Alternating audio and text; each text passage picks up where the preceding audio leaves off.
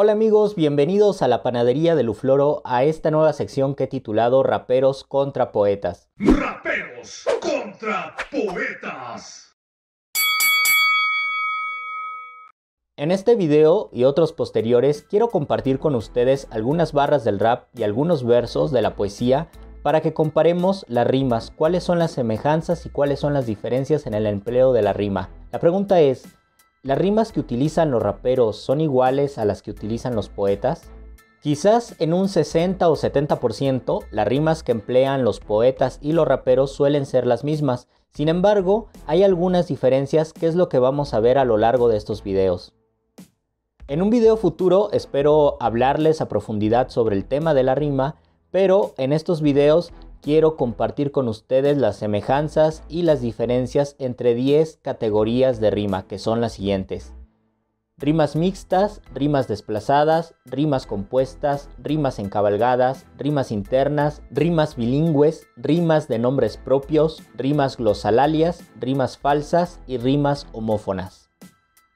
Así que en este video y otros posteriores iré analizando poco a poco todas estas variantes de las rimas. Quizás la mayor diferencia en el empleo de las rimas entre poetas y raperos es que los poetas suelen seguir reglas muy estrictas y específicas a la hora de rimar, mientras que los raperos tienen mayor libertad en el empleo de las rimas. Para este video quiero que analicemos las dos primeras categorías, rimas mixtas y rimas desplazadas. Comencemos. Le llamo rimas mixtas a la mezcla de consonantes y asonantes. Tío Lufloro, ¿qué son las rimas consonantes y qué son las rimas asonantes? De forma muy breve se los voy a explicar porque en videos posteriores voy a profundizar al respecto. Una rima consonante es una rima completa. La palabra casa de forma consonante rima con masa, pasa, brasa, asa, fracasa, escasa. Como pueden observar, las vocales y las consonantes coinciden, mientras que una rima asonante solo se conserva las vocales. La palabra casa, de forma asonante, rima con vaca, jarra, lata, ala, jirafa, derrama. Por lo regular, los poemas no emplean rimas mixtas, es decir, no combinan rimas asonantes con rimas consonantes, pero para este primer round elegí un poema donde sí se hace esto. Enfrentemos el soneto 5 de Garcilaso con unas barras de los aldeanos de un rap que se llama Poesía. Los aldeanos dicen, Iluminada, iluminas mi nada en láminas caminas, fina y vulgar encaminas mi ánima a la cima, lastimas más y más mis más profundos dolores, y encima me das paz y vas detrás de mí sembrando flores. Y Garcilaso de la Vega escribió, Escrito está en mi alma vuestro gesto, y cuanto yo escribir de vos deseo, Vos sola lo escribiste, yo lo leo tan solo que aún de vos me guardo en esto. En esto estoy y estaré siempre puesto, que aunque no cabe en mí cuanto en vos veo, de tanto bien lo que no entiendo creo, tomando ya la fe por presupuesto. Yo no nací sino para quereros, mi alma os ha cortado a su medida, por hábito del alma mismos quiero. Cuanto tengo confieso yo de veros, por vos nací, por vos tengo la vida por vos he de morir y por vos muero. Observen cómo en el rap de los aldeanos las rimas iluminas, caminas y encaminas son rimas consonantes perfectas y hay una más pero le falta una S para ser perfecta que es la palabra fina. Estas palabras a su vez crean rimas asonantes con cima, encima, lastimas, imas, mismas. Aparte, iluminada, minada, láminas tienen el mismo sonido. También hay otras rimas de diferente terminación, iluminada, nada más, das, paz, vas, detrás, dolores, flores. Es decir, que en estas cuatro barras del rap, el 90% de las palabras son rimas asonantes y consonantes. Hay una riqueza en los sonidos por esta combinación de rimas. Ahora analicemos el soneto de Garcilaso. Aclaro que pronuncié vos sola lo escribiste porque esa era la forma correcta de pronunciarlo en el tiempo de Garcilaso de la Vega. Tenemos cinco juegos de rimas consonantes que terminan en esto, eo, eros, ida y ero. De estas cinco rimas consonantes, cuatro a su vez crean rimas asonantes entre ellas. Gesto, esto, puesto, presupuesto, deseo, leo, veo, creo, quereros, deberos, quiero y muero. Además, al interior del soneto hay otras rimas asonantes que apoyan ese sonido, vuestro, esto, entiendo, tengo y confieso. Si se dan cuenta, hay una insistencia en el sonido eo, eo, eo. Si no supiéramos español y escucháramos el poema, lo que inmediatamente saltaría a nuestros oídos sería este eo, eo, eo. Como les comenté hace un momento, en la poesía suele respetarse el tipo de rima que se empleará, y por lo tanto, este soneto de Garcilaso, donde mezcla rimas asonantes con consonantes, es un caso excepcional, pues la métrica de la poesía hispánica recomienda no hacerlo.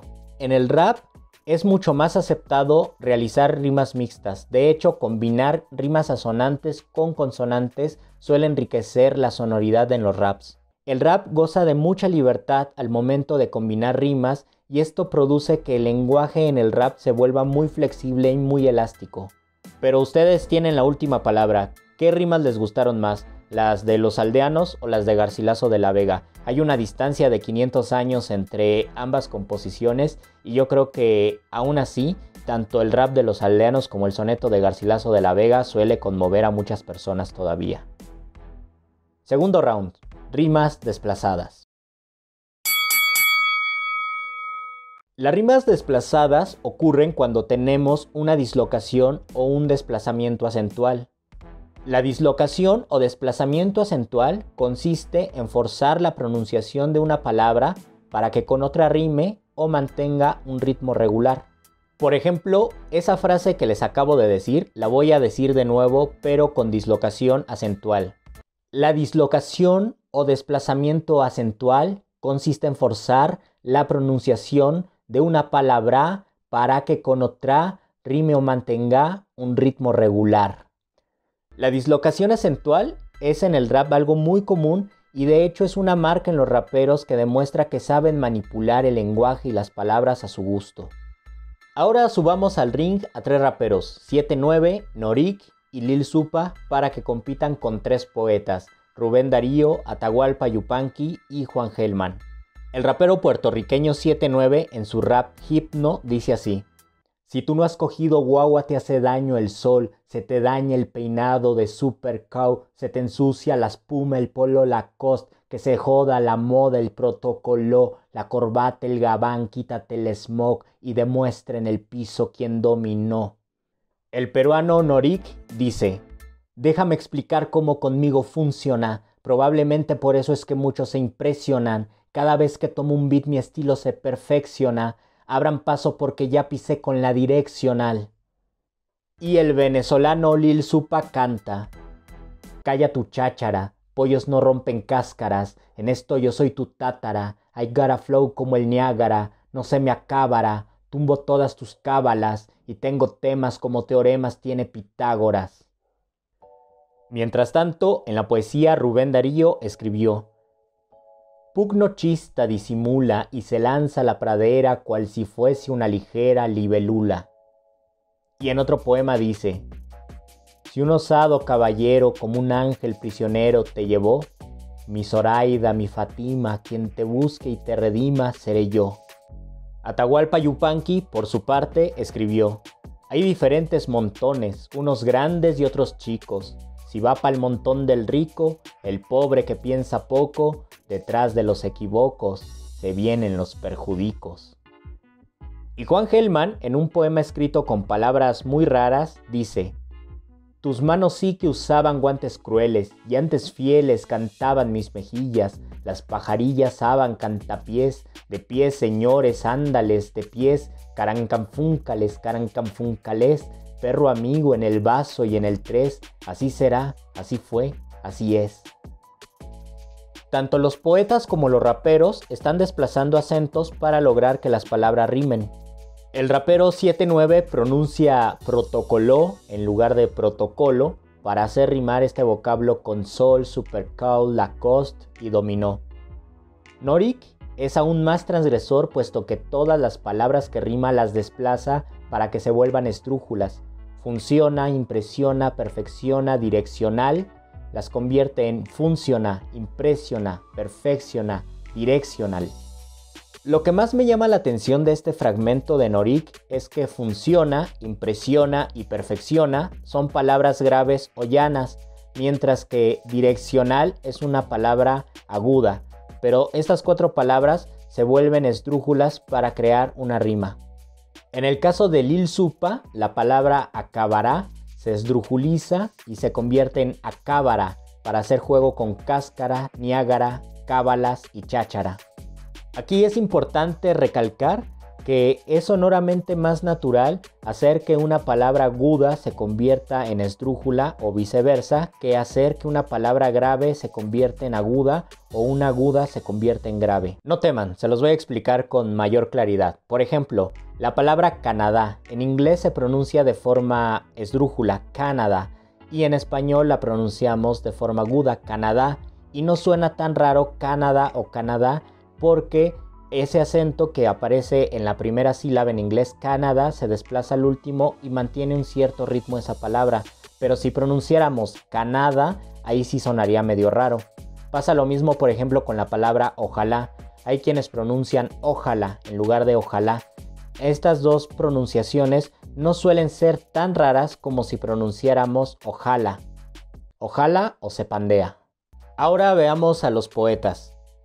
Rubén Darío convierte dos palabras esdrújulas en palabras graves, libelula en lugar de libélula y Fatima en lugar de Fátima, para que rimen con disimula y redima respectivamente. Chequen también la sonoridad de ambos fragmentos. Pugnochista disimula y se lanza a la pradera cual si fuese una ligera libélula. Si un osado caballero como un ángel prisionero te llevó, mi Zoraida, mi Fatima, quien te busque y te redima seré yo. Ese ritmo que viene manejando Rubén Darío se llama troqueo y en algún video les voy a explicar cuál es el ritmo del troqueo. Después tenemos a Atahualpa Yupanqui, quien cambia la palabra equívocos por equivocos, lo cual hace un juego tanto de sentido como de sonido, porque aparentemente se equivoca en la pronunciación y justo se equivoca con la palabra equivocos. Además, la palabra perjudicos no existe, pero se la inventa para que rime con chicos y rico. Aquí también observen cómo las palabras equivocos y perjudicos, aunque no riman entre sí, sí mantienen una misma terminación en cos, y esto hace que haya mayor sonoridad en el fragmento de este poema. Por último, Juan Gelman escribe carancanfúncales, que es una palabra muy extraña cuyo significado desconozco, pero quizás sea una palabra de lunfardo, el habla popular de Buenos Aires de principios del siglo XX, o si no, también puede ser una invención del propio poeta. La cuestión es que Carancanfúncales dota de mucha sonoridad al poema y hace que el español suene muy extraño. Y lo más curioso es que esta rara palabra la escribe dos veces, una para que se pronuncie en forma estrújula y la otra para que se pronuncie como aguda. Carancanfúncales, carancanfúncales. Si Juan Gelman solo hubiera escrito carancanfúncales, esta palabra no rimaría con nada, pero cuando escribe carancanfúncales, ya rima con cantapiés, pies, tres y es. Cada fragmento que les presento aquí de raps y de poemas tienen muchísima carnita y son muy disfrutables, así que les voy a dejar en la descripción las ligas para que escuchen estos raps o para que lean estos poemas. A todo esto, ¿quién creen que haya ganado este segundo round? ¿Los poetas o los raperos? Ojo, no estoy juzgando la calidad literaria entre raps o poemas, eso tendría que ser para otro video, sino quiero que vean cómo las rimas que emplean los raperos y las rimas que emplean los poetas y algunas de estas estrategias suelen ser muy parecidas o incluso las mismas. Apenas llevamos dos tipos de rimas, las rimas mixtas y las rimas desplazadas. Faltan todavía otras que hay que analizar, así que espero que se puedan suscribir a mi canal, que activen la campanita de notificaciones, que le den like a este video y que lo compartan. Bien amigos, ojalá hayan disfrutado de este video y ojalá nos veamos muy pronto. Adiós.